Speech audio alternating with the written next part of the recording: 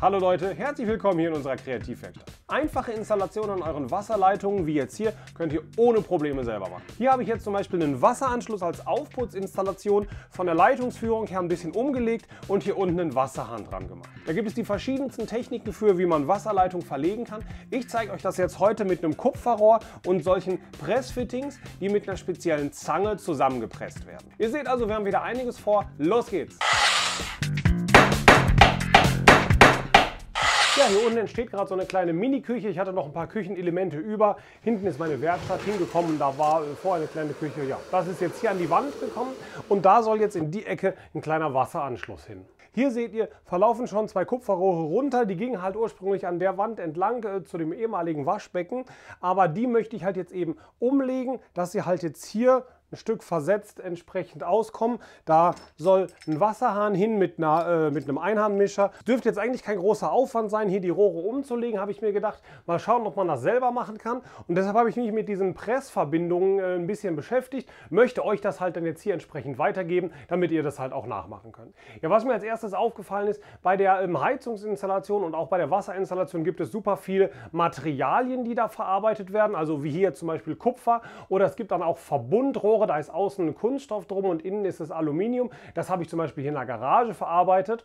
Äh, und auf der anderen Seite gibt es auch sehr viele Möglichkeiten, wie solche Rohre miteinander verbunden werden können. Ja, ganz oft gibt es eben schraubbare Quetschverbindungen. Da wird eben das Rohr zusammengesteckt und dann ähm, durch eine schraubbare Überwurfmutter zum Beispiel so lange zusammengequetscht, bis es halt eben dicht ist.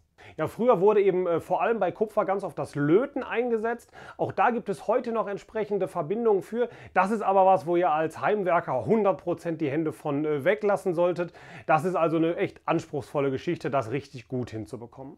Ja, heute haben im Handwerk einen ganz großen Stellenwert solche Pressverbindungen. Ähm, das ist jetzt hier für Kupfer. Ich zeige euch das mal gerade, wie das von Namen aussieht. Die haben hier so eine Wulst. Da ist also im Inneren, äh, ich hoffe, man sieht es ein bisschen, äh, ein Ohrring drin, der für die Abdichtung sorgt. Und da wird die Verbindung durch ein äh, Presswerkzeug hergestellt, das mit zwei Backen da drauf gesetzt wird. Das Ganze wird dann zusammengepresst und dann steht die Verbindung halt.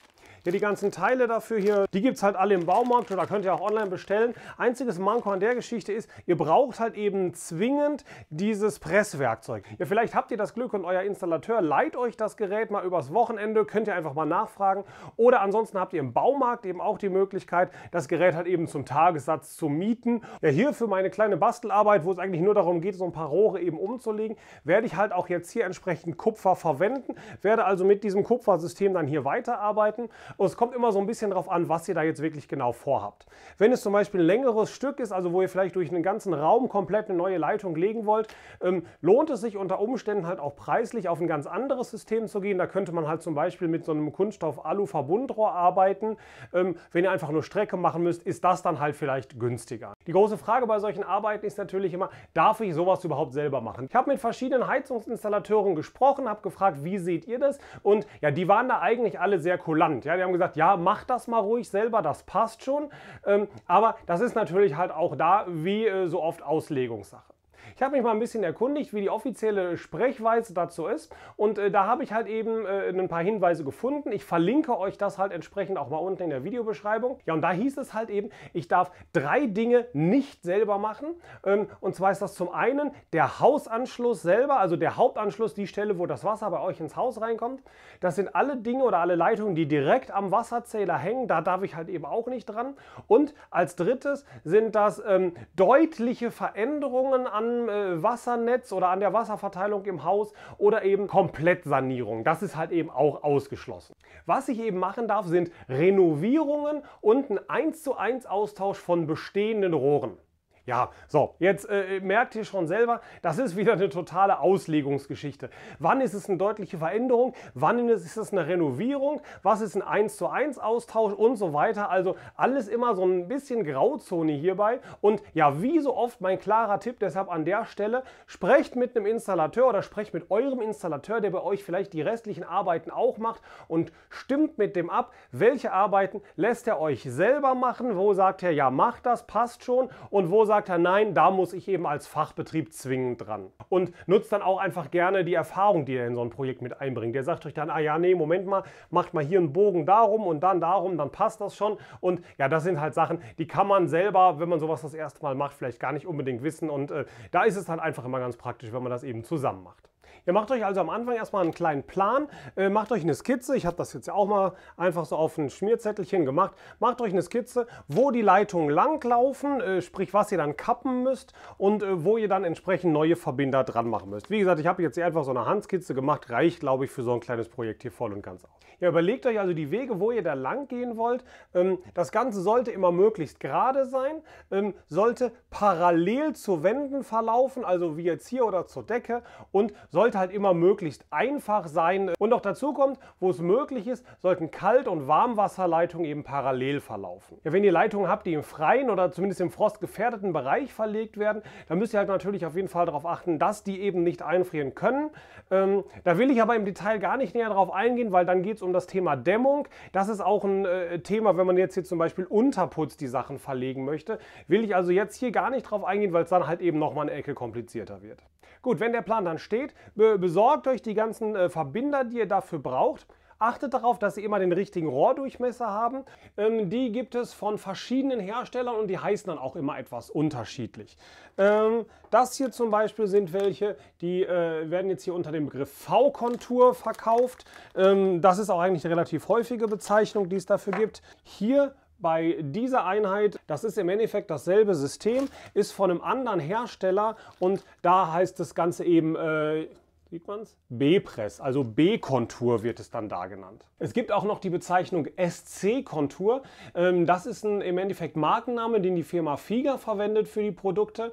Und äh, das soll an der Stelle dafür stehen, dass sie halt eben sagen, dass diese Verbindung unverpresst undicht ist. Bedeutet also, wenn ihr das Rohr reinsteckt und dann zum Beispiel, ihr habt eine ganze Menge Verbindungen da an der Wand, vergesst eine davon zu verpressen, dreht dann das Wasser wieder auf, merkt ihr sofort, dass ihr vergesst, äh, vergessen habt, die zu verpressen, weil die eben undicht ist. Sowohl äh, diese B-Press-Geschichten als auch eben die V-Kontur, aber auch die SC-Kontur werden halt alle mit demselben Werkzeug, also mit denselben Pressbacken verpresst, beziehungsweise gibt es auch von den jeweiligen Herstellern Herstellern eigene Pressbacken dafür, aber die sind auch eben kompatibel zu, dem, äh, zu der V-Kontur. Schaut also am besten, dass ihr ein einheitliches System nimmt, also dass ihr irgendwie alle Fittings vom selben Hersteller benutzt oder zumindest ähm, ausschließlich welche verwendet, die ihr halt mit denselben Pressbacken eben verpressen könnt. Wenn ihr im Bereich von einer Trinkwasserinstallation arbeitet, dann achtet darauf, dass die Teile auf jeden Fall DVGW zugelassen sind. Und das ist immer dann der Fall, wenn da unten so eine kleine Prägung drin ist.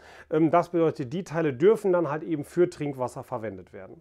Wir gucken uns jetzt nochmal das benötigte Werkzeug an. Allen voran jetzt hier mal diese Presszange dafür. Ähm, das ist also jetzt hier das Teil. Ähm, ist ein extrem solides Werkzeug und ja, wie gesagt, das ist definitiv nichts, was man sich selber anschaut anschaffen möchte, weil das halt auch echt mal eine super aufwendige Investition ist.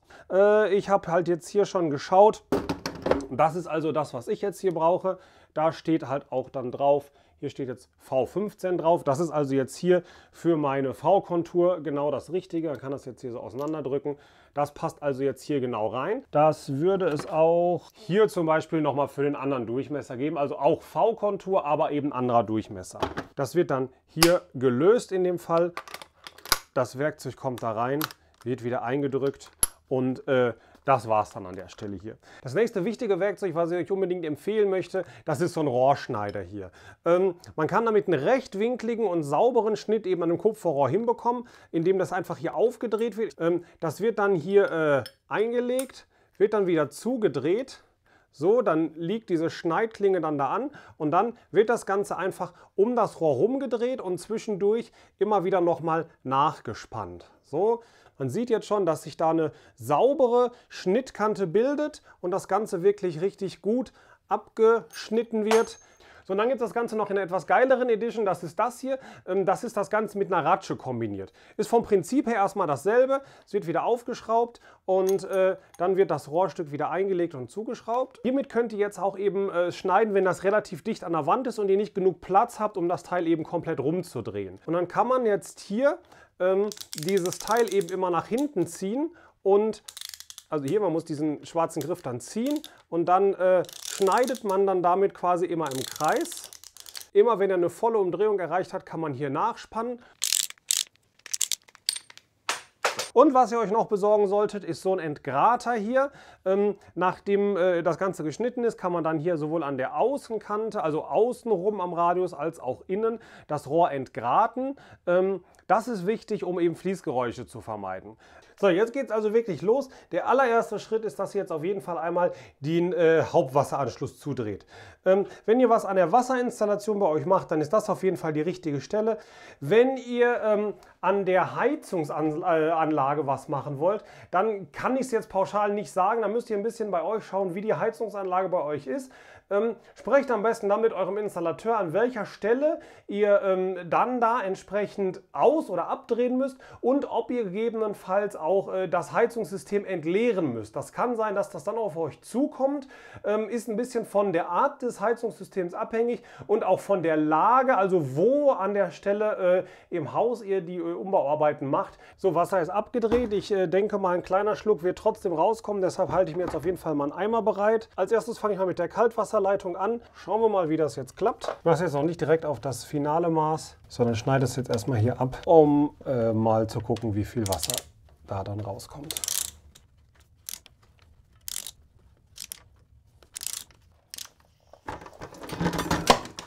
Ja, da kommt schon noch so ein paar Schluck raus. Ich hoffe nicht mehr als 10 Liter, sonst ist mein Eimer zu klein. Okay, ich bin einmal nass, aber das gehört wahrscheinlich dazu. Ne, ich glaube, das wären keine 10 Liter. So, der erste Schritt, wenn ihr jetzt lackierte Rohre habt, ist, die Farbe auf jeden Fall einmal abzukratzen. Die müssen komplett blank sein, sonst funktioniert das nicht, das Ganze hinterher dicht zu bekommen. So, jetzt wollen wir dann nochmal hier wirklich markieren, wo wir das jetzt final schneiden müssen.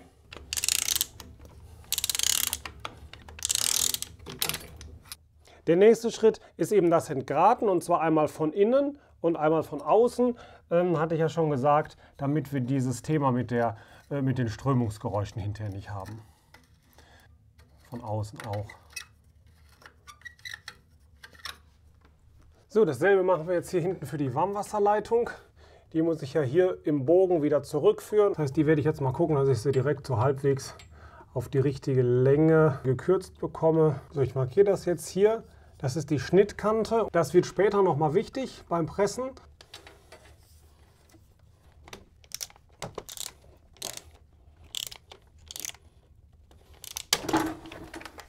So, als nächstes wird jetzt die Einstecktiefe markiert. Das ist ein wichtiger Schritt. Ich mache das jetzt hier mit dieser ja, Wandarmatur oder wie das Ding auch immer heißt.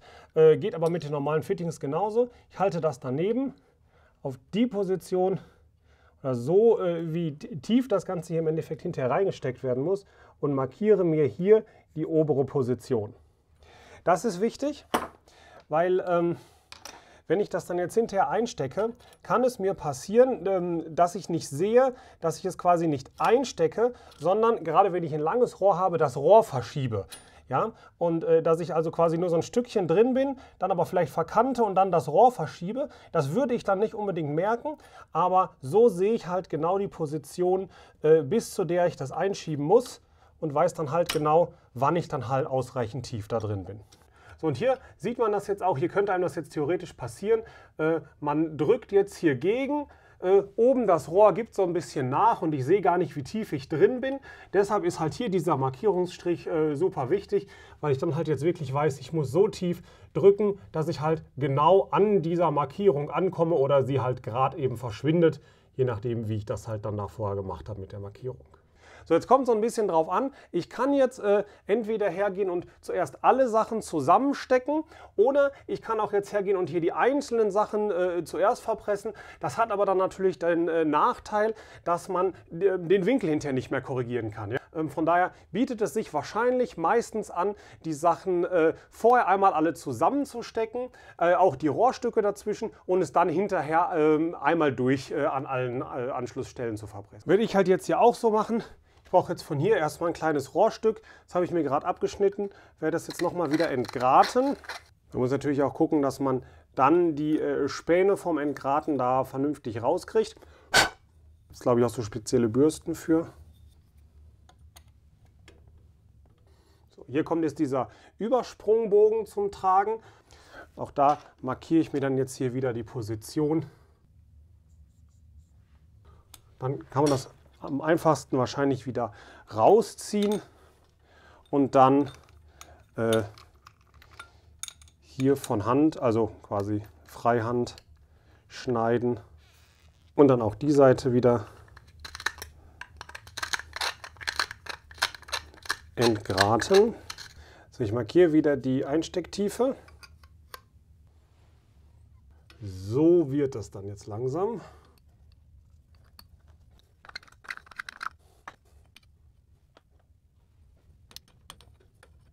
Sollten natürlich immer möglichst waagerecht sein, so Rohre, dann sieht es auch ein bisschen ansprechend aus. Schön Tiefe markieren. Wichtig hier bei dem Schneiden, das habe ich gerade gemerkt, ist, man darf das nicht zu stark hier andrehen, sondern man muss das wirklich lieber äh, einmal mehr nachstellen, als es zu stark anzuschrauben, weil sonst ähm, drückt sich das Rohr nach innen. Das äh, habe ich hier oben, warte, zeige ich euch einmal kurz, an einer Stelle gemacht. Das muss ich gleich nochmal neu machen. Da sieht man, dass ich hier halt wirklich äh, viel zu stark angeschraubt habe. Dann hat sich die Klinge eben reingedrückt und hat das Rohr nach innen verformt.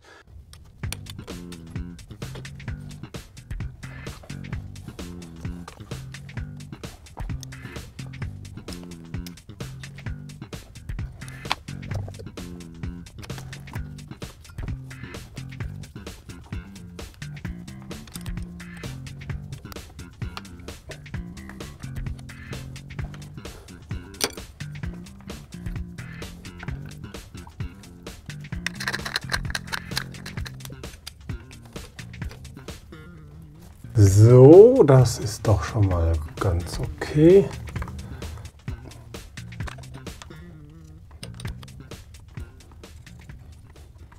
So, und dann ist jetzt irgendwann der Moment gekommen, wo alles passt, wo alles waagerecht sitzt, beziehungsweise senkrecht, halbwegs gut aussieht, alle Rohre entsprechend gekürzt sind. Und dann kann man jetzt loslegen, das alles zu verpressen. Ich habe die passenden Backen hier aufgesetzt. Man kann das hier drehen, je nachdem in welchem Winkel man arbeiten möchte. Man drückt das hier hinten auf, setzt das hier drum und startet dann den Pressvorgang einfach, indem man hier unten das Werkzeug einschaltet. So, ihr habt gehört, irgendwann gibt es einfach so einen kleinen Knacks. Ihr könnt es dann wieder öffnen und rausnehmen.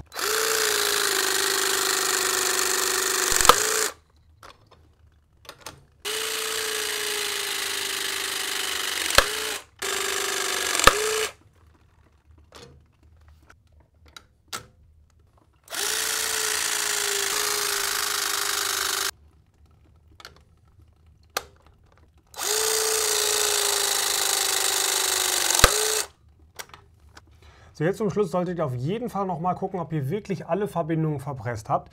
Und zwar erkennt man das so ein bisschen an der Kontur oder an der Form. Ähm, ich zeige es euch mal von Namen. Ich hoffe, man kann es hier so ein bisschen erkennen. Man sieht also hier eindeutig solche Pressmarken dran. Und ähm, die, äh, der Querschnitt, ich glaube, hier könnte man es ganz gut erkennen, der Querschnitt wird halt auch so ein bisschen sechseckig dabei. Ja? Diese Backen, äh, jetzt hier gerade bei der V-Kontur, sind ja nicht rund, sondern die haben so ein leichtes Sechseck und das erkennt man dann jetzt hier an allen äh, Fitting, ob die eben diese Pressmarken haben. Da kann man dann mal drüber fühlen und dann wirklich einmal genau gucken, ob das überall diese, diese Form hat. Ja, und damit ist dann der gesamte Verpressvorgang und äh, das Anbringen der Wasserleitung hier auch soweit schon beendet. Der nächste Schritt wäre jetzt das Anbringen von Hanf um äh, das Gewinde vom Wasserhahn unten. Das zeige ich euch aber in einem separaten Video, weil das ja jetzt nicht zwangsläufig mit hier zugehört. Äh, sprich, das kann man auch äh, ja, unabhängig von ähm, Verpressen von so einer Wasserleitung gebrauchen und deshalb mache ich das mal separat. Ich äh, verlinke das Video oben auf dem i, könnt ihr gerne anklicken und euch das dann halt auch noch anschauen. So, ich bin sehr gespannt. Ich kann jetzt nebenan das Wasser aufdrehen und dann gucke ich mal, was hier passiert. Ähm, solche Arbeiten ist ja wieder so ein typischer Fall von alles oder nichts. Also es gibt nicht ein bisschen dicht, sondern es gibt nur dicht oder eben nicht dicht. Und äh, da bin ich jetzt mal gespannt, ob es hier dicht ist. So, es hat überall einmal kräftig gezischt. Klar, ist ja auch eine Menge Luft jetzt drin. Gucken wir mal, was jetzt hier... Okay, das sieht schon mal gut aus. Und hier ja, könnte sein, dass das geklappt hat. So, ich mache mach jetzt einmal ganz pingelig alle Tropfen hier weg und werde das dann mal jetzt hier einfach eine Zeit lang so unter Druck stehen lassen und gucken, ob dann noch irgendwo sich was gebildet hat. So, ich habe jetzt wirklich einige Stunden gewartet und dann jetzt hier überall an den Verbindungen und äh, auch hier unten an dem eingeschraubten Hanfding geguckt, ob das alles trocken geblieben ist oder ob irgendwo ein Tropfen steht. Und äh, ich kann euch sehr erleichtert sagen, es ist komplett dicht. Das Ganze hat also wirklich gut funktioniert. Ja, soviel zu der Wasserinstallation. Was sind denn jetzt die nächsten Schritte? Ich brauche auf jeden Fall einen Ausguss, äh, weil ich jetzt irgendwie das Wasser dann auch auffangen muss. Der soll also jetzt hier irgendwo hier drunter. Ähm, ich werde das mal als komplettes Makeover-Video machen und euch hier den Aufbau aus alten Küchenmöbeln von äh, unserer Mini-Küche hier zeigen. Ich verlinke das oben auf dem i, wenn das Video entsprechend soweit ist. Ja, die große Frage ist ja auch immer, war es das jetzt oder kann man noch was besser machen? Ähm, man könnte das Ganze jetzt auch hier noch isolieren. Da bin ich jetzt gar nicht näher drauf eingegangen. Gerade bei der Warmwasserleitung wäre das natürlich natürlich sinnvoll. Äh, hier bei so einem kleinen Stück ist es jetzt aber auch verzichtbar. Nachdem das hier mit dem Hanf so gut geklappt hat, wäre ich jetzt ehrlich gesagt nochmal neugierig, welche Alternativen es da noch gibt. Es gibt ja noch dieses flache Teflonband und dann gibt es auch noch so eine Teflonschnur. Ähm, das würde ich vielleicht beim nächsten Mal auch nochmal ausprobieren. Und selbstverständlich kann man sich noch überlegen, ob man sowas nicht als Unterputzinstallation macht. Hier ist es jetzt wie gesagt so eine äh, kleine Mini-Küche im Keller. Ähm, das sieht jetzt nicht übermäßig schön aus, aber es ist jetzt auch keine optische Katastrophe. Die Rohre hier kann man vielleicht noch ein bisschen streichen oder so, dann passt das schon. Aber ähm, jetzt mal, wenn man wirklich in der Hauptküche oder vielleicht sogar im Badezimmer ist, dann will man das natürlich schon als Unterputzinstallation machen. Und äh, das wäre eine Sache, die man sich beim nächsten Mal auch noch angucken könnte. Gerade wenn es ganz lange Strecken sind, äh, gibt es natürlich auch noch Alternativen zum Kupfer, hatte ich ja alles schon angedeutet. Und äh, da könnte man sich mal zum Beispiel mit Aluverbundrohren auseinandersetzen. Auch das wäre sicherlich nochmal ein Thema für ein separates Video. Ja, insofern, ihr seht es schon, die Ideen für weitere Videos gehen nicht aus. Lasst mir gerne ein Abo da, dann kommt ihr auf jeden Fall mit, wenn da neue Videos online sind. Ähm, und wie wichtig es ist, dass so eine Geschichte hundertprozentig dicht ist, das äh, zeige ich euch in dem Video hier. Ähm, da hatten wir einen kleinen Feuchtigkeitsschaden hier im Keller, der relativ große Auswirkungen hatte. Was da passiert ist und was wir dagegen getan haben, das zeige ich euch in dem Video. Ich hoffe, wir sehen uns beim nächsten Mal wieder. Bis dahin.